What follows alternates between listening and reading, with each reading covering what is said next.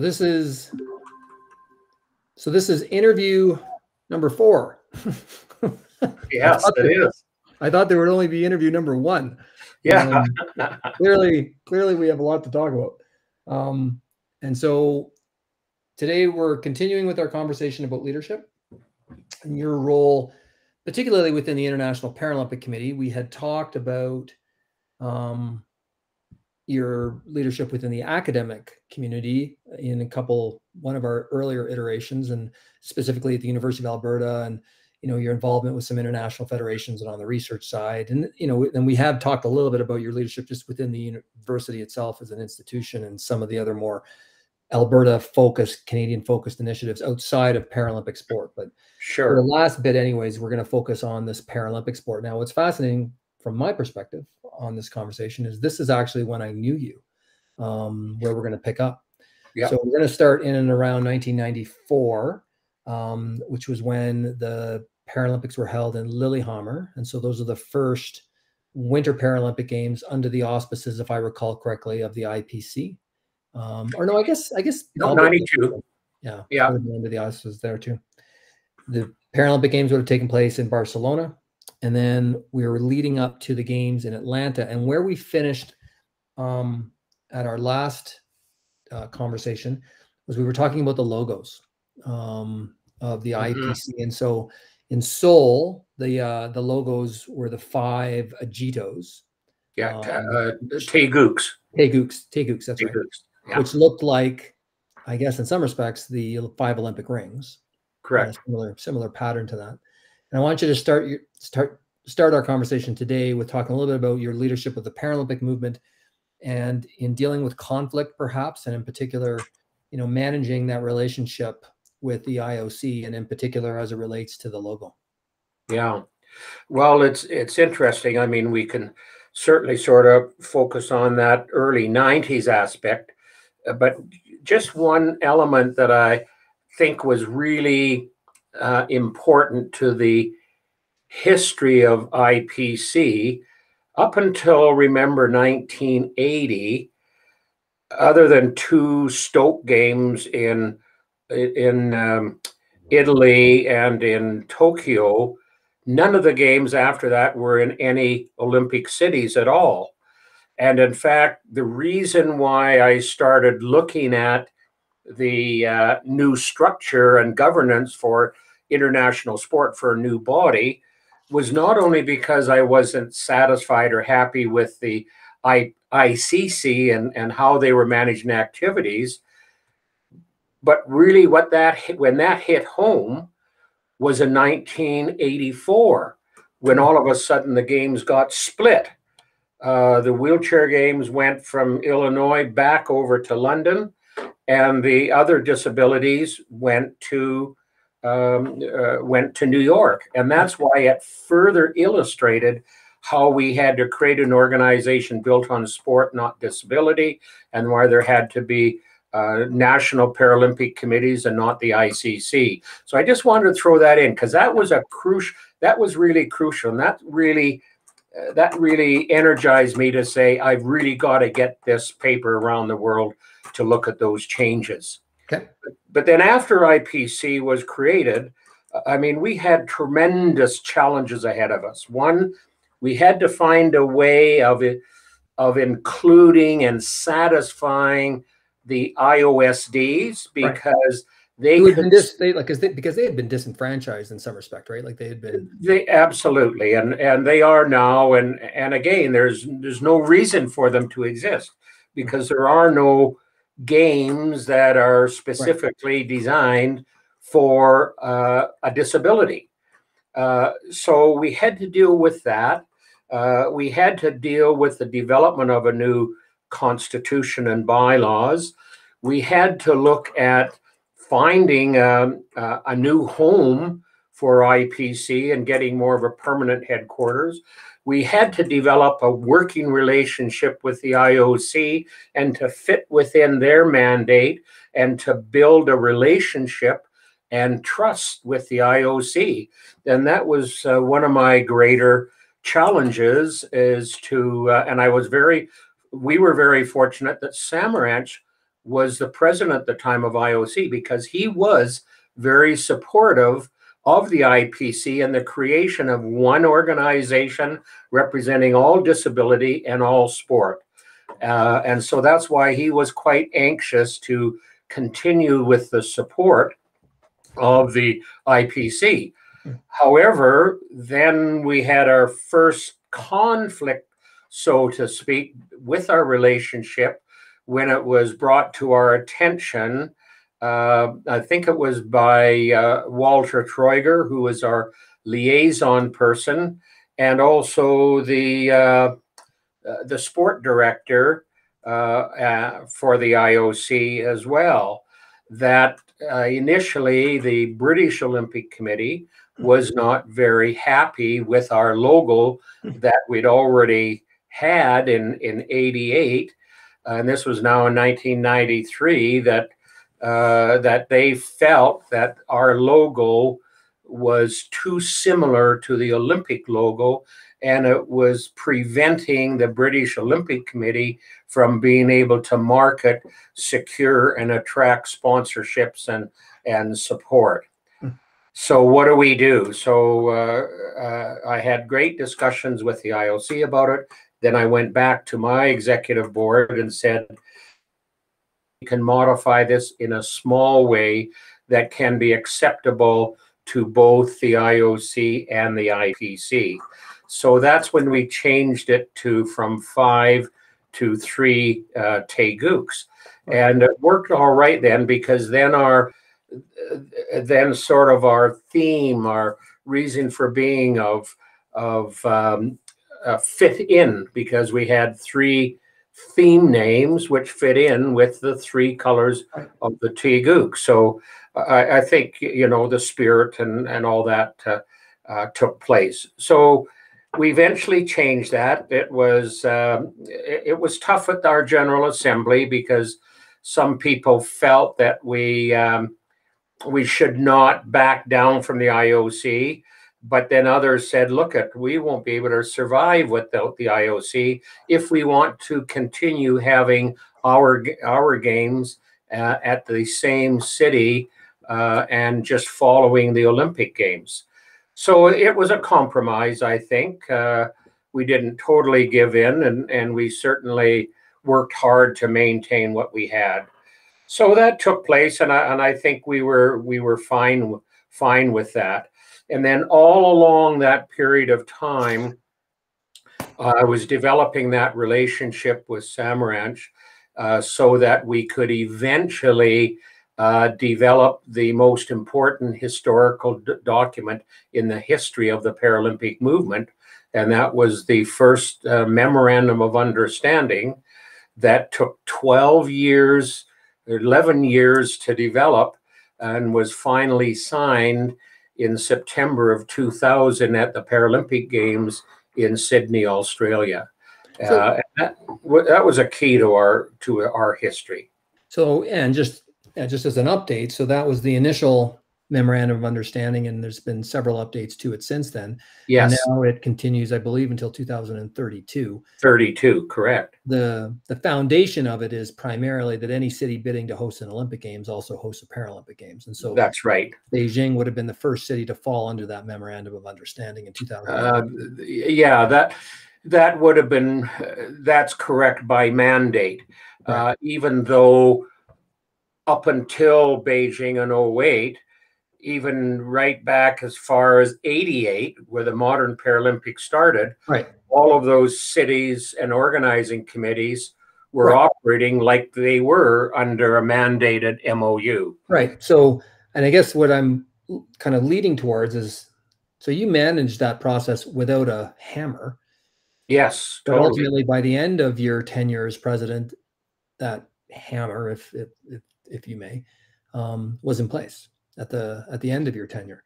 That's um, correct. Yes, so. I, yeah, so I want to talk. So let so tell me about your impression then of, you know, what you needed to do as a leader in order to kind of stick handle the process that you said took 11 years. Yeah. With the IOC. So what, you know, what elements of your leadership do you think allowed ultimately that to to be? Well, well, well, I I certainly the first thing, as I've talked about it before, is uh, developing a relationship of trust and hmm. respect.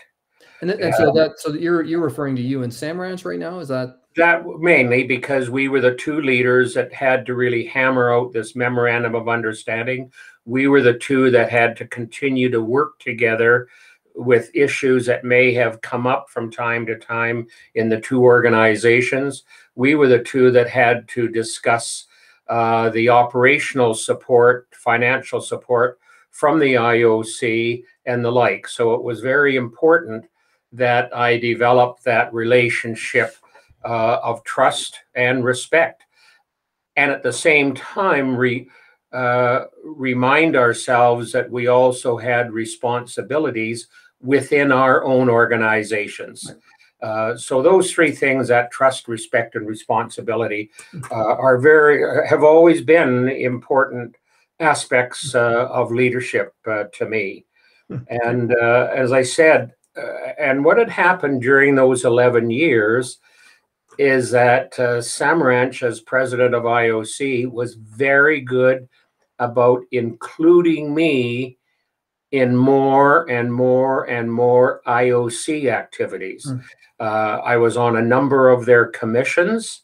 Uh, I was uh, when they had their uh, the problem of um, uh, of Salt Lake City back in '99. I was one of 24 people from around the world who were appointed on a special commission to investigate uh, the situation in uh, in Salt Lake City, and then to come up with a series of resolutions to look at changing the Olympic movement. Uh, he also included me in the in, in the United Nations Commission that dealt with uh, peace and truce, uh, along with himself, myself, and along with three former general uh, um, United Nations uh, general, what do they call them? Secretary. Secretary yes, of the United Nations. So uh, we worked on those, and and then I was on a couple of other commissions uh, of um, management commissions for uh, uh, for some of the games like Beijing, etc. Yeah, so it was uh, it was then the relationship I think was the strongest aspect that I developed because I knew if I didn't if I didn't have his trust and respect, I had nothing. Right. Uh, and I and I think I was able to develop that because I did respect him. I did trust him. Uh, I did work hard. I, I mean, I didn't. Uh, I didn't give in to him because there were a number of things that we agreed to disagree, and there were a number of things that that he couldn't or wouldn't do, and I couldn't wouldn't do. So there were those situations. But in the overall theme of things, it was uh, it was an it was an exceptionally good relationship. Uh, Okay. Hey, I, I want to pivot a little bit and talk about your leadership of the organization um, as a volunteer-driven organization. So, so mm-hmm. I believe, was a officially a staff person from the from the beginning, from 1989, yes. if I recall. Yes, she was. But you didn't have you didn't have a, an office until 1999, I don't think. Um, yeah, we didn't have a headquarters but we did have an office uh, in Belgium. Hmm. The former or the first Secretary General who was nominated and elected, uh, Andre Raes, oh, right. uh, was from Belgium, the same city as um, as Lean. So he had he owned a, uh, uh, I guess, a condominium hmm. uh, that he converted into the office for the IPC. So uh, we did hire Lean to begin with part time and eventually became full time. And if there were any costs associated with the uh, condo, we had to pay uh, rent for it and we had to pay the utilities. But that was basically about all. But it was owned by Andre Raes. Mm-hmm. and so, but I started right away, and not right away, but in about after talking with Samaranch at a time, he he had indicated that uh, that if we looked at having a headquarters in Lausanne, it may not be in our best interest because it's not the easiest place to get into, mm. uh, and uh, it's very expensive. Mm. So that's when I started looking for different cities around the world to see who would be prepared to bid mm. to host our uh, our gen our um, our headquarters, and that's when and that took uh, you know it took a good three, four, five years because it wasn't in place until 99 i think we made the decision in 97 so we i would have started looking more in about 93 94 oh. yeah okay. well we guess... had 11 cities who initially hmm. expressed interest in being our headquarters. And I think we ended up with six or seven hmm. proposals from various cities around the world. Huh. Hmm. I don't think I knew that. Yeah. Hey, I want you to talk. So, the reason I asked the question is I, I want to try and go down the path of so you did have staff, but I would have already so one or two, you know, two. Um, yeah. This is a this is an international organization you're trying to run. Um, tell me about your the leadership that you needed or the style of leadership that you needed, particularly from a volunteer perspective and a global one at that? Mm-hmm. Well, uh, I suppose I guess that was our our greatest challenge was how do we how do we grow an organization if we've got an ambition to be one of the largest and strongest organization sport organizations in the world representing 200 or more countries. It was going to be impossible to deal, do that using volunteers only. So uh, once uh, Lean was working for us full full time, and we started to find a suitable location, which was and still is in Bonn, Germany. Um, I had spoken to Samaranch a few times about that and and some of his staff as to what they felt were the important aspects and features that would go into a, a, a headquarters. And but I also recognize that we were a voluntary organization. Uh, my entire board were all volunteers. Uh, I mean, some of them work professionally in disability sport, back in their home country. Um, but I didn't as as president. Uh, I mean, I had a full time job as a as a professor at university. Uh, by then, I owned and was managing a sport medicine clinic. Uh, I was still carrying on other roles and responsibilities uh, in back back home. I, I mean, I led the bid for the 2001 World Track and Field Championships, which I started back in 98. So, uh, all of those things I was doing, as well as volunteering my time as president of IPC.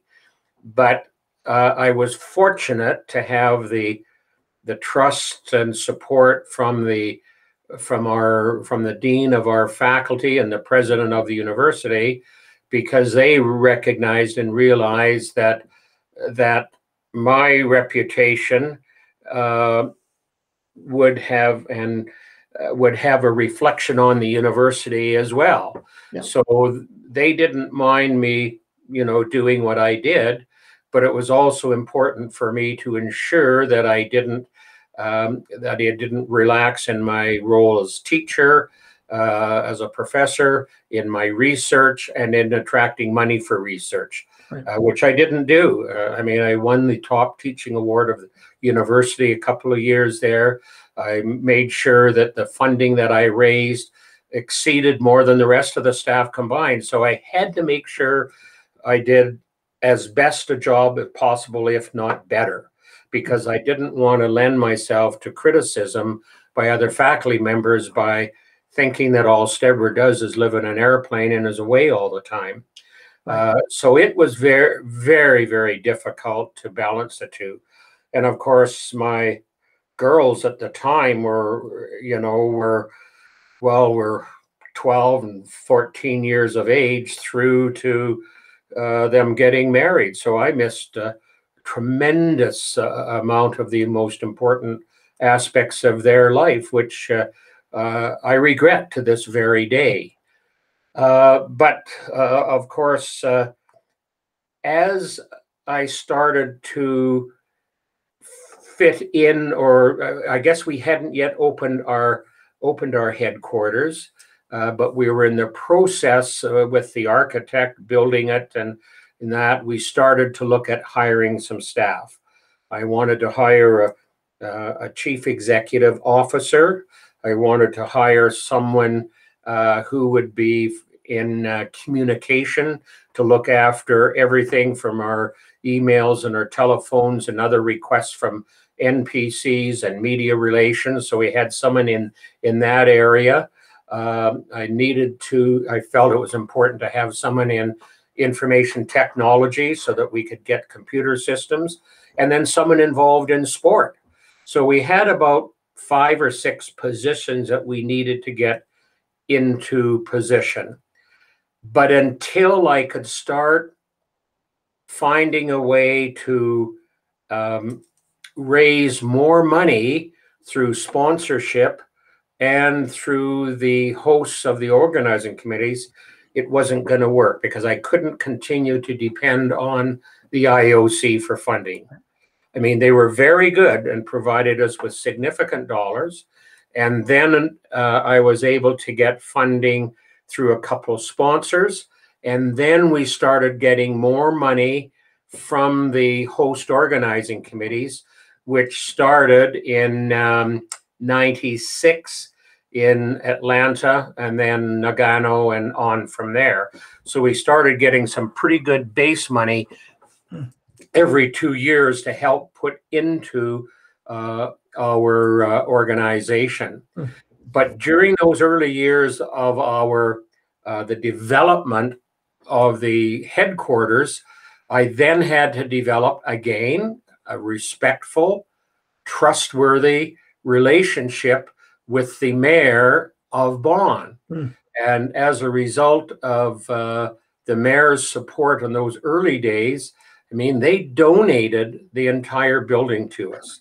They renovated the entire building.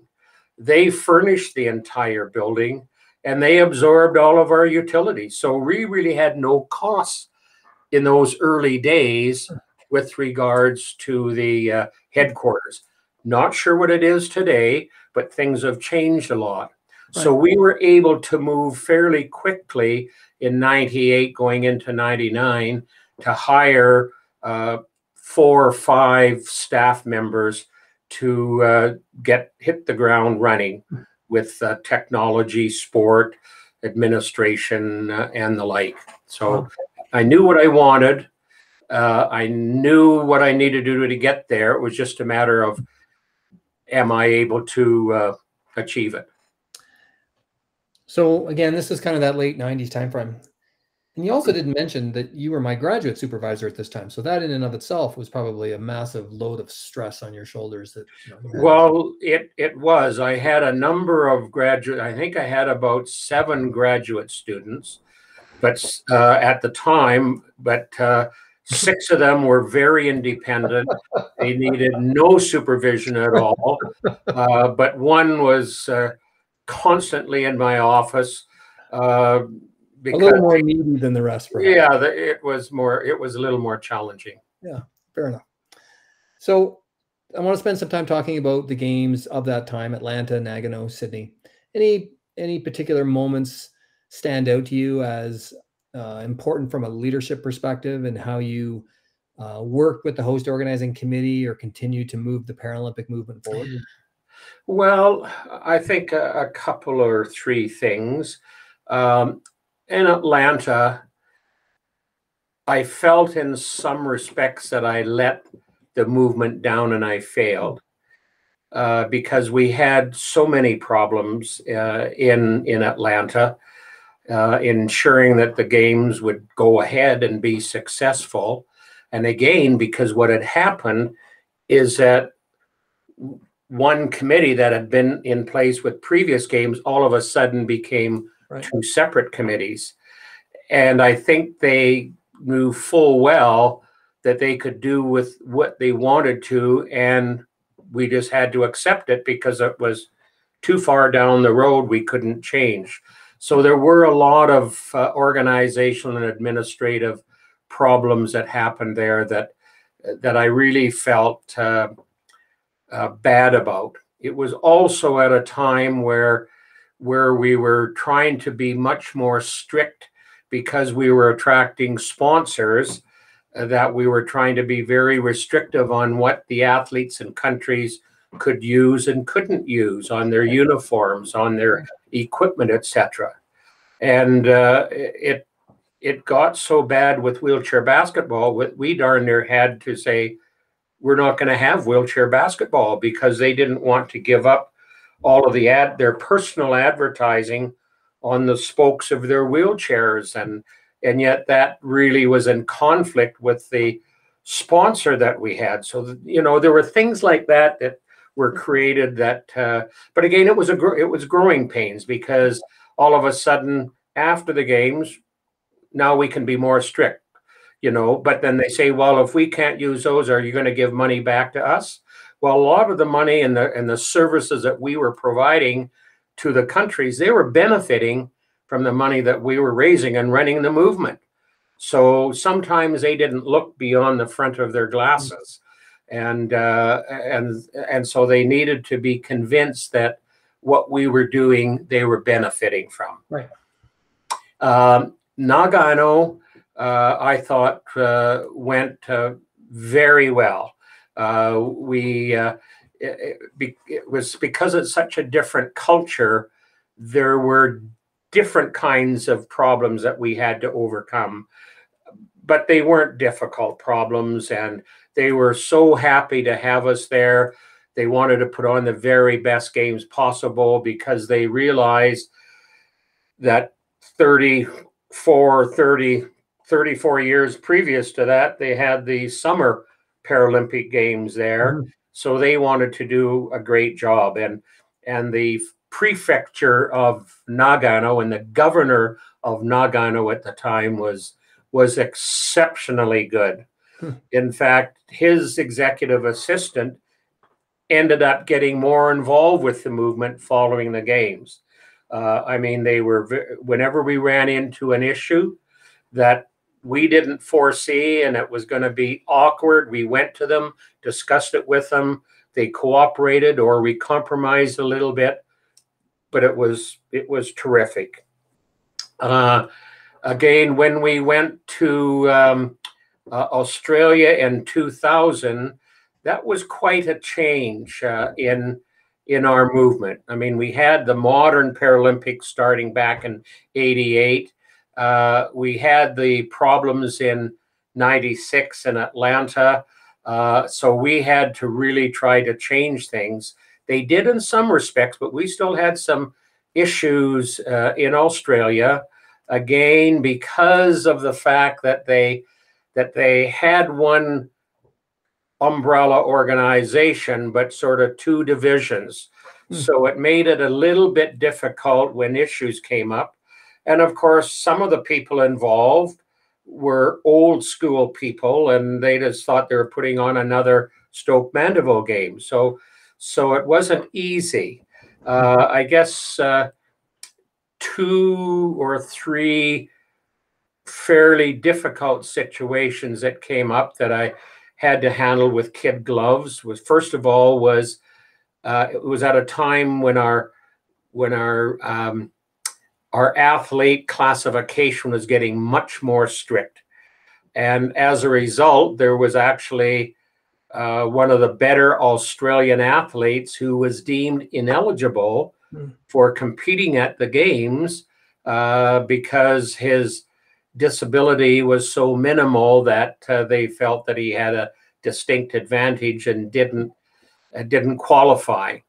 So of course, being a local athlete, it created huge uproar in the media. The media were were uh, and and the and as you well know, David, the Australian media can be pretty uh, pretty curse against a person and And uh, I got it from all sides, as did our medical officer, Dr. Riding at the time. But they appealed to the Court of Arbitration of Sport. We won that appeal. Uh, and uh, and the the hatred that was going through hmm. the room where that took place was was really bad. Hmm. And the only so I said, how can I? I felt so sorry for the athlete. Uh, I didn't so much for their organization, but the athlete I did. So what I did at the after the end of the games, Australia was hosting a, a major celebration for their team their volunteers, their sponsors, and the like. I was invited to that event and invited to the stage to speech, uh, to speak. And during my speech, I brought that athlete up on stage and presented him with a special uh, Paralympic medal, you know, and and expressed to him my great sorrow that things did not work out for him better. Hmm. But again, you have to take care of those kinds of things and hmm. be sensitized to them. Hmm. And then I suppose a third thing, which was which was a bombshell, was when we found out that the uh, athletes on hmm. the uh, basketball team for Spain uh, were not mentally handicapped at all. And so their team had to lose their medal and uh, and we had to suspend not only the team, uh, but we ended up suspending the entire uh, mental handicap organization from the Paralympics, uh, and that was it. I think we handled it very very well. Uh, and the first thing we did, we said, well, if they weren't, and they're from a a very progressive country. So what happened there that they fell through the cracks? Something must be wrong with their classification system. So I had all of the classification forms for INAS FMH, and there weren't a lot of athletes, so it was only a matter of going through maybe 150 or 200 at the most athletes. And we found that that they were the forms were not even filled out and signed by qualified people. I would have thought that they would have used a, a clinical psychologist or a psychiatrist to determine the level of, of uh, capabilities of these individuals. But they were signed by mums and dads, a social worker, a principal, a school teacher, you know, everything except their barber and uh, so it, it, was very frustrating. So that was sort of the straw that broke the camel's back. That's when we had to say, enough is enough. They will be suspended, expelled from our organization. Hmm. And until the organization can grow and mature and find a, a system of handling the athletes to ensure that they are properly classified they cannot be part of the future of the Paralympic Games. Hmm. So that was that was Sydney. So two or three games like that in the over those uh, over those four years with three games, all very different kinds of experiences, hmm. But all very challenging experiences. So you had you know the the athlete who didn't qualify had we had doping problems we had the classification problems, and yet still, my greatest memory is sitting down in front of a room that was jam packed with media, signing the memorandum of understanding with the International Olympic Committee with Samaranch. Mm-hmm. And so a year later, uh, in the early 2000s, you finish your three terms as president, and that was the maximum number mm-hmm. of terms allowed. Mm-hmm. So you, you, step down as president. You retire as a faculty member. Um, tell, tell, me about how that transition went from a leadership perspective. Um, mm-hmm. mm-hmm. Going from, and again, like I, you know, when you were my graduate supervisor, how, how many days would you have been away a year? Oh my goodness, I was likely away. I want to say 200, but that likely not quite that much, but 150, 175 days a year over, well, more than those 12 years, because there were years leading up to that where I was away trying to promote and market uh, a new structure and, and uh, organization as well. But you know, it's everyone goes through life experiencing discombobulations. Every leader does. And when I stepped down as president in December of 2001, uh, my retirement in November of 2001 uh, hit me like an icy wind. Hmm. You know, all of a sudden, uh, by then, uh, all of my graduate students had finished their their degrees, uh, and I was standing in the middle of nowhere with nothing. You know, I said, What has happened to my life? I've got all these wonderful experiences. I've got situations where where I was working seven days a week, uh, you know, every day, all day, somewhere in the world. And then all of a sudden, punk, it's gone. So that was just one of those discombobulations you had to deal with. It's an adversity in your life, and you have to recognize that everyone has them, every leader does. And it's are you prepared to confront them, to handle those discombobulations and that adversity? And that's what I had to do. And and you know, it was really highlighted to some degree before I finished my uh, term as president because my, as you remember, my retirement was was in November, a month before the uh, my finishing up as as president. And so when I was there at the at our at my at my retirement party, I mean, I was overwhelmed with the number of people that were there. I mean, we had a in an airplane hangar down in Fort Edmonton, and and there were five or six hundred people there. Everyone, I mean, even the lieutenant governor came, but not as the lieutenant governor. She came as Lois Hole and her husband. You know, so I mean, it was really. Uh, uh, when I think back of it, I, the memories I had that night uh, and the recollection of of 30 or 40 years that just went through me in in the blink of an eye. And then and then the next month, of course, the end of the next month, going into um, into Greece for the uh, election.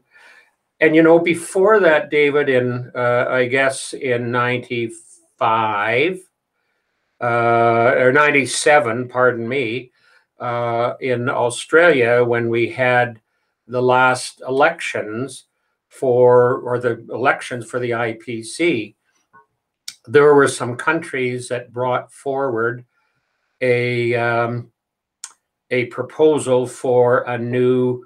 They wanted to change the constitution and bylaws to allow people to be available to run for more than three terms. Mm. Um, and I spoke against it. I said, you I need to know why you want to change it. You can't change it for one or two people, for myself or someone else on the executive. You can change it for good reasons and principles that it's in the best interest of our organization, but don't change it for one person. Right. Because you could turn around the next time and want the next person to only have two terms or one term even.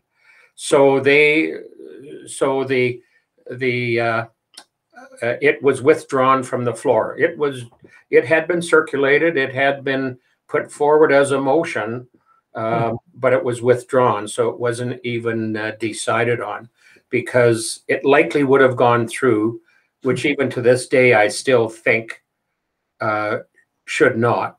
Three four year terms is more than enough for any organization to uh, to fulfill, you know, because you get worn out. You you know, I was I was hugely tired. I mean, I was exhausted, mentally exhausted for a long, long time after that uh, 12 years uh, was over. So it was, uh, it was, so I guess the 2001 General Assembly was a bit of a downer for me, not because of my leadership, not because of the years I put in, because we had made monumental accomplishments. I mean, we built the foundation for the organization.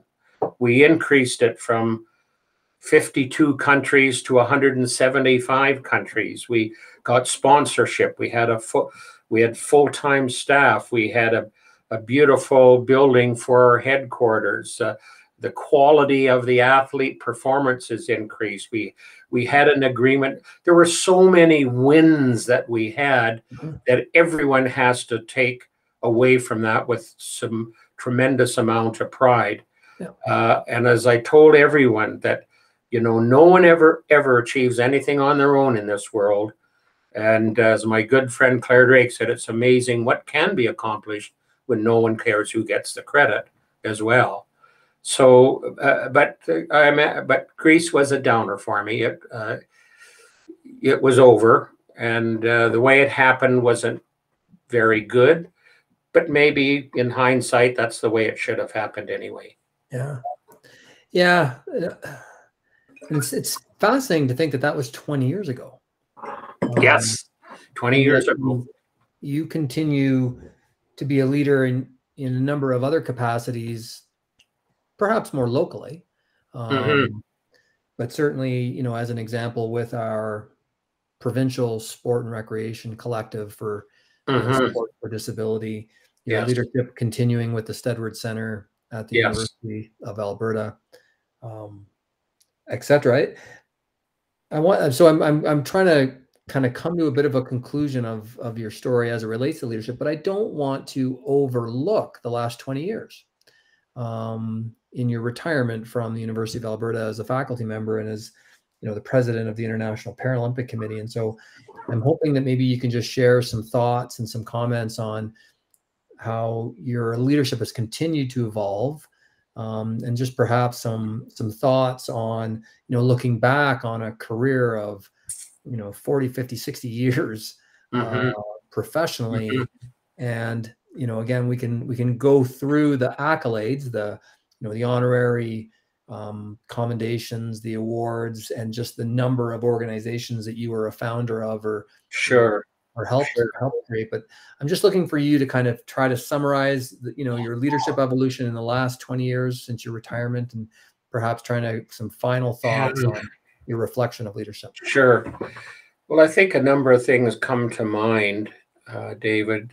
Uh, first of all, I was very blessed to have some unbelievable mentors in my life that helped develop the characteristics in me that I wanted to have to help me to become a leader and the leader that I was or is.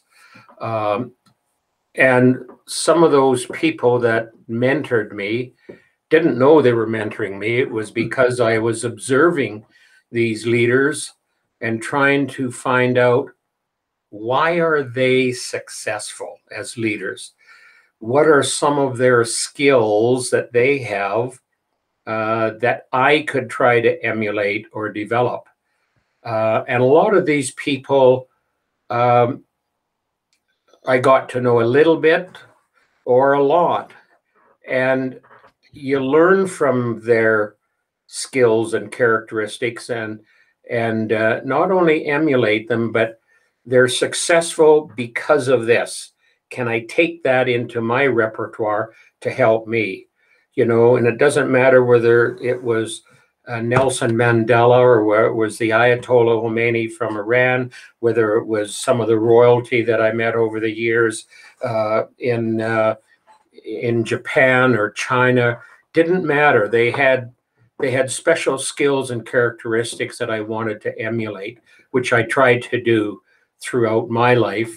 And then I really felt it was my responsibility to further uh, insert that into people that I could influence so that they would become leaders that uh, that I would be proud of too because um, you're just you don't you're not born a leader. Uh, I don't believe. You can learn to be a leader uh, but some people just have the the ambition the desire uh, the drive the compassion uh, and all of those things to become a good leader but you have to work at it. You have to you have to have people open doors for you. You have to have people that will mentor you. Uh, you ha- you have to be prepared to um, to be open minded and and to be prepared to learn what you need to learn to be an effective leader and as i always say that's where the relationship building the trust responsibility integrity and all of those compassionate kinds of adjectives are are there and present. So even when I retired in 2001, I wanted to continue doing something but maybe a little bit different from what I was involved with. I mean, I I did stay involved somewhat with the IOC and IPC for a couple of years, but not in any leadership capacities. Uh, but I got involved in working back with athletes. Um, I was right. mentoring and managed the lives of David Pelletier and Jamie Salé. And I was their life coach. I didn't look at myself as their as their manager. I didn't look at them uh, in, in, that, and because I looked after everything about them. I met met with them and worked with them as their counselor, their consultant. I did their banking, their investments. I dealt with every aspect of their life. And I always felt that that's where a lot of people who are agents fail athletes because they don't prepare them for life, they don't prepare them for retirement. They're basically interested in being paid for the work that they're doing for them. And I said I would never, ever do that. Uh, I then, after Jamie Salé, David Pelletier, I started getting involved to a smaller degree with, you know, with people like Jennifer Heil and that. But, uh, but I couldn't get involved with her to the degree I would have loved to because I was so involved with Jamie and David. And you can't, you can't be all things. I wasn't going to be an agent where you've got right you know a litany of of athletes you're working with uh, and then when david and jamie started tapering down then i moved into uh, managing uh, the career of a musician a, a singer an entertainer. Right. so those kinds of opportunities started and rodeo rodeo. Rodeo a number of cowboys that i had worked with over the years. So a number of those um, opportunities came my way because in most situations they sought me out more than I sought them out. Uh, you know, Beck, you know, the Becky Scotts of the world and the Jennifer Heils, they contacted me to, you know, uh, in areas like that. But and I and I would dearly wished I would have been able to have the time to spend more time with them. But I also thought I had to spend a little more time with myself and my family too. Yeah you know, because of the years of uh, the mm-hmm. 15, 20 years of neglect that was there as well. So, so that well, was by this point you were a grandfather with multiple grandchildren. Yes, yes, for sure. Yeah. Created you created that place south of Edmonton. Mm-hmm. And I remember you, you, were always going with your granddaughter to seems to me lacrosse events and the states or wherever. Yeah, yeah. I mean, I really I've got involved as much as I could with my grandchildren, and I've certainly learned by my involvement with my four grandkids how much I missed mm. of my two daughters growing up. And uh, so my grandkids likely think I smother them, but but uh, you know my two grandsons, I was always at their hockey games as much as possible. They both played uh, handball, European handball, team handball and were excellent because they were on the provincial team that traveled internationally from places like uh, Serbia and Norway and Japan. They had great experiences. And then traveling with my youngest granddaughter into the US uh, for her lacrosse tournaments. And now she's signed a, a very prestigious NCAA lacrosse scholarship in South uh, Carolina. So, you know, they've all done well. They're all still doing well. And, uh, and they've become a, a, really important and special place uh, in my life. Awesome. I, the, the, my final question.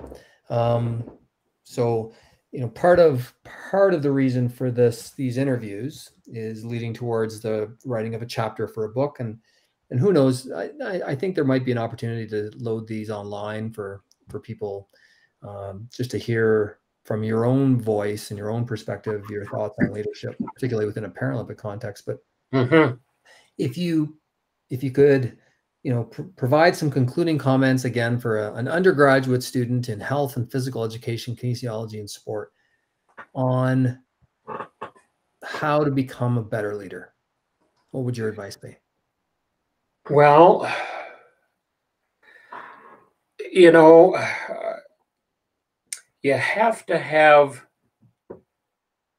a certain amount of creativity interest and a bit of a dream to begin with. If you have an interest in becoming a leader, no matter what that looks like, you can do it. No matter who you are, sit in your classroom, look around the room. Every one of you can become leaders in your own way.